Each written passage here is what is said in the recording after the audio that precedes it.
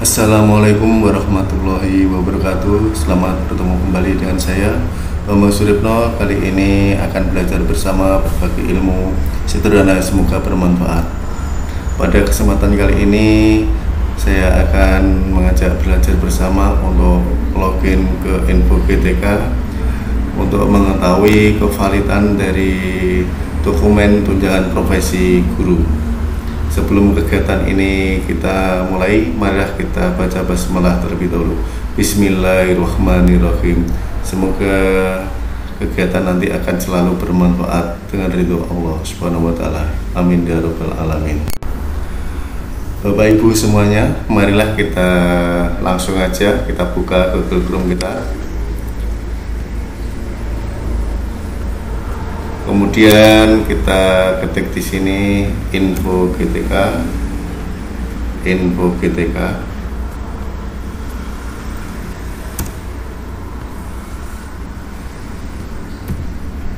ya ini info kita. Kita klik.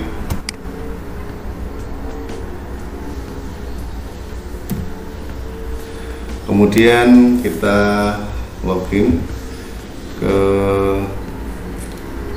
bisa langsung login ke GTK ini perorangan masing-masing guru atau menggunakan SSO kita mencoba menggunakan login langsung ke GTK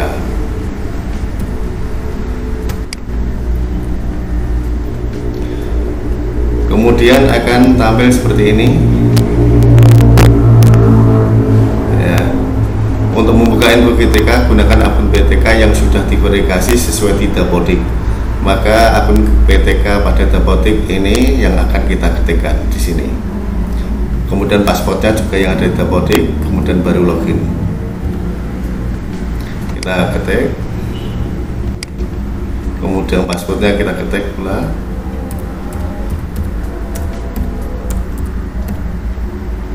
Kemudian login. Kita tunggu. Kemudian muncullah info GTK info validasi data guru ini fungsinya hanya untuk membantu guru menampilkan data dari sekolah. Jika ada kesalahan data proses perbaikannya melalui dapodik sekolah masing-masing. Yang ini yang perlu diketahui bahwa uh, kevalidan data ini di sini ini info anggaran tahun 2021 untuk semester 2 bulan Juli sampai Desember 2021 di sini. Maka di sini diinformasikan status validasi tunjangan profesi sudah valid menunggu verifikasi dinas. Maka di sini ada tulisan data sudah valid menunggu admin tunjangan dinas pendidikan sesuai jenjang untuk mengat ajukan usulan penerbitan SKTP. Jika dalam satu bulan belum diajukan SKTP, konsultasikan dengan admin tunjangan di Dinas Pendidikan Kabupaten sesuai dengan kewenangannya. Demikian informasinya. Kemudian kita cek satu persatu. Di sini usia sudah centang semua hijau NWTK valid. Yang perlu dilihat di sini adalah jam linearnya. Total jam linear hanya 24 jam. Di sini untuk mengetahui nanti kevalidannya atau tidak bisa dicek di sini. Karena sudah memenuhi standarnya yaitu linear 24 jam maka sudah valid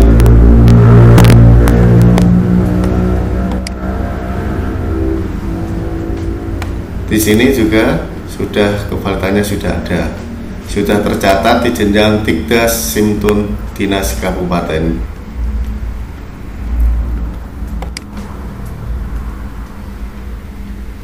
Kalau sudah valid ini kita tinggal menunggu SKTP yang diterbitkan oleh Kabupaten. Bapak Ibu selain kita melihat kelengkapan data ini valid atau tidak di sini ada info terbaru yaitu tentang status verbal ijazah. status verbal ijazah. Nah, di sini status verbal ijazah S1 atau D4 Anda belum verbal ijazah. Itu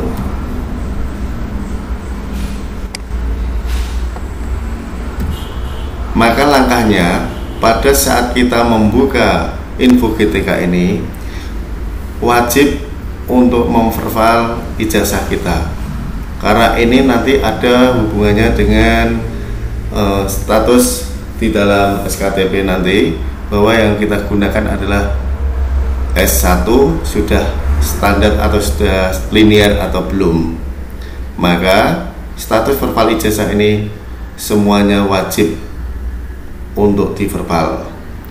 Maka langkah berikutnya adalah kita harus mengadakan update.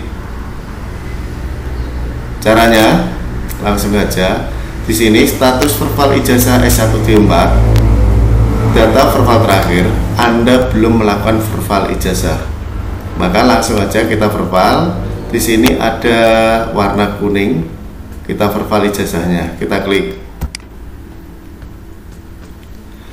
Kemudian muncul seperti ini, verbal ijazah. Untuk menjaga validitas data ijazah sesuai dengan data yang terdaftar pada database perguruan tinggi dan pangkalan data dikti, maka pastikan data program studi Anda sudah terverifikasi sesuai dengan ijazah pada link di bawah. Ini pada link kuning ini. Catatan, verbal ijazah ini wajib dilakukan oleh guru yang bersangkutan bukan oleh operator sekolah saya tekankan kembali lagi, sekali lagi verbal ijazah wajib dilakukan oleh guru yang bersangkutan bukan operator sekolah. Yang kedua untuk lulusan tahun setelah 2002 pastikan data ijazah Anda terdaftar pada PD Dikti. Jika tidak jika data Anda tidak terdaftar pada PD Dikti, segera koordinasi dengan perguruan tinggi di mana ijazah tersebut diterbitkan.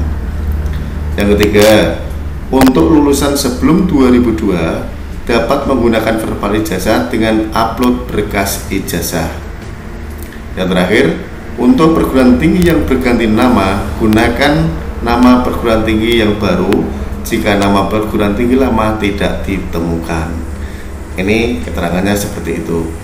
Yang perlu ditekankan di sini bahwa verbal ijazah wajib dilakukan oleh guru yang bersangkutan, bukan oleh operator sekolah.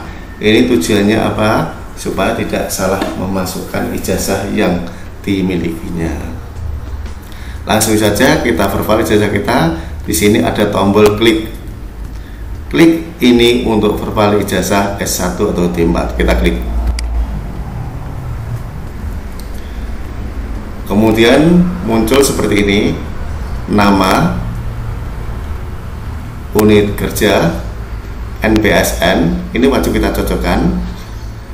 Kemudian di sini ada perguruan tinggi. Perguruan tinggi kita isikan.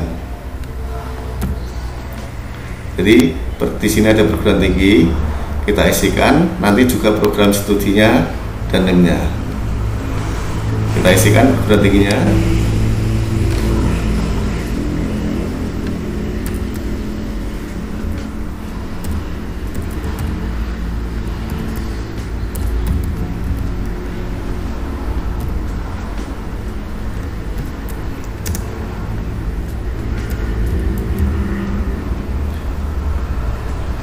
ini sudah muncul universitas terbuka. Kita klik. Kemudian kita ketik pula di sini program studinya. Perguruan tingginya sudah kemudian program studinya. Kita ketik di sini. Program studi sesuaikan dengan ijazahnya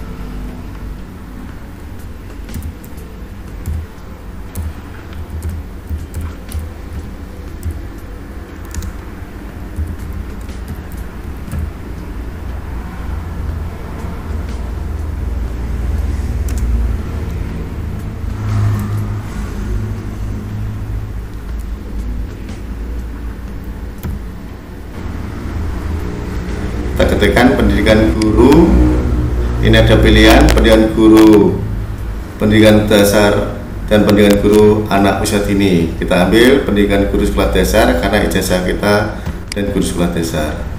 Kemudian kita masukkan NIM kita.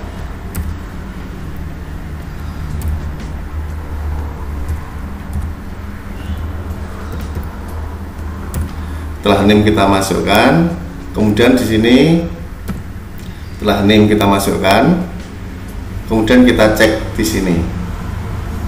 Jadi perguruan tingginya universitas terbuka program studinya pendidikan guru sekolah dasar NIM-nya 817346114 kemudian kita cek.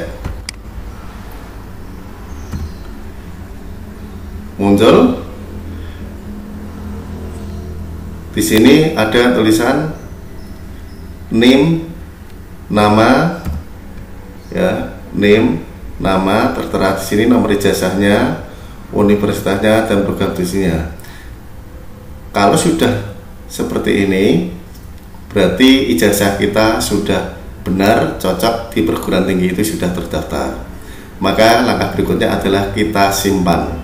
Kita klik simpan di sini. Maka di sini ada tulisan data sudah di pada tanggal ini. Nama ijazah Bambang Suripto nomor ijazahnya ini.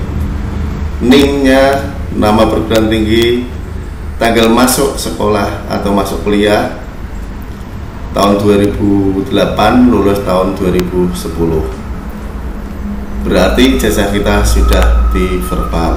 Berarti inilah kegiatan kita untuk memverbal ijazah nanti agar data kita sudah terdaftar di diktinya.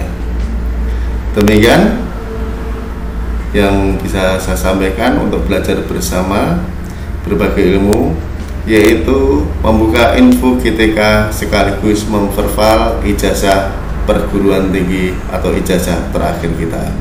Semoga bermanfaat. Wabillahi taufiq walhidayah.